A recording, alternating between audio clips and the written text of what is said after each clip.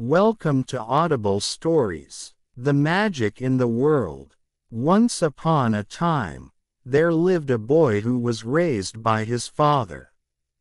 His father was a loving, generous man, and though he was poor, he taught his son to love life and be nice. The world is full of magic, he said, if we keep our eyes wide open and look out for it. Alas, when the boy was only ten, his father died, and he was all alone in the world. He found work for a farmer, and always worked as hard as he could, and he sang, The world is full of magic, as he worked.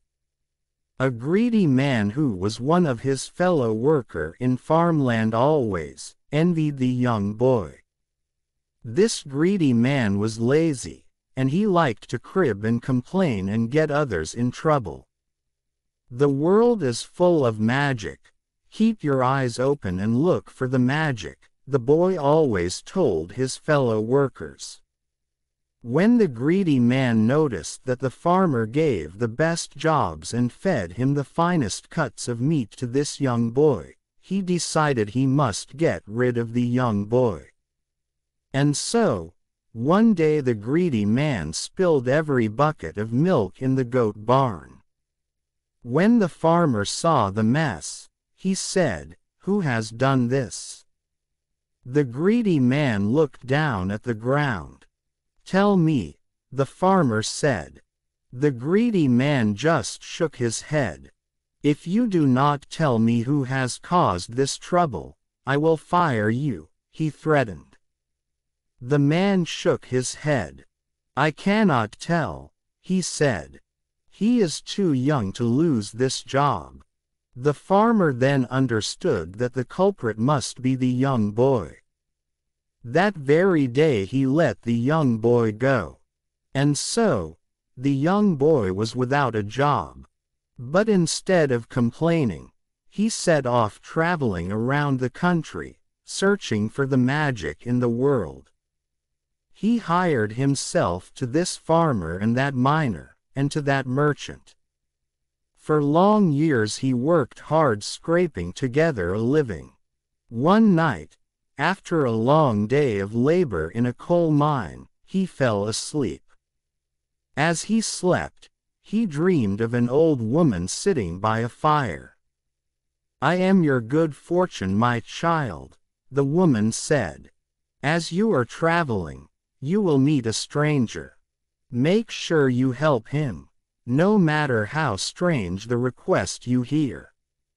When he woke, he smiled, for he sensed this was the magic he sought. He at once set off on his way. As he walked along the road, he suddenly heard footsteps behind him. He turned to see a young man rushing toward him, calling, Hello senor, senor, please help me. My wife is having a baby, and we have no godfather. Please, will you be my child's godfather? This was surely a strange request, indeed. But, mindful of his dream, the young boy agreed, and he hurried with the young man to his home. The baby was a beautiful little girl with wild curls and a face as bright as the full moon, and the young boy was announced as the official godfather. That night the little girl's father, excited to sleep, began to tell the young boy tales of strange dreams he had been having. I dreamed I was to travel to the very center of the Black Desert. There I was to find a ball of yarn, toss it over my shoulder and follow it wherever it led, and it would take me to a genie who would reward me with all the money and gold I could ever desire. The young man now chuckled to himself. Of course there are no such things as genies, he said. It was a foolish dream. But you ought to go, the young boy said. We must keep our eyes and hearts wide open, for there is magic in this world. The young man laughed. So, you do believe in dreams, he said. Now the young boy could not stop thinking of the desert and the ball of yarn and the genie. So he decided and asked the young man if he could visit to the Black Desert in his place. The young man at once agreed and said, Surely you can go, now you are my child's godfather.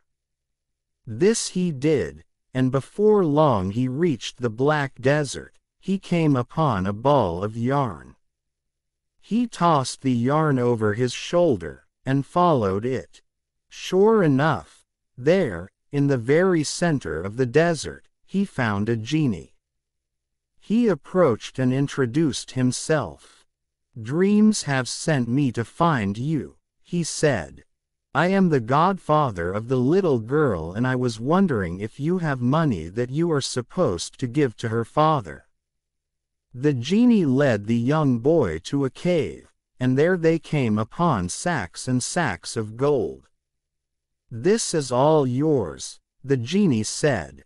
Thank you, the young boy replied graciously. He worked for many days, constructing a wagon. He loaded his wagon with the gold and pulled it all the way to his goddaughter's home.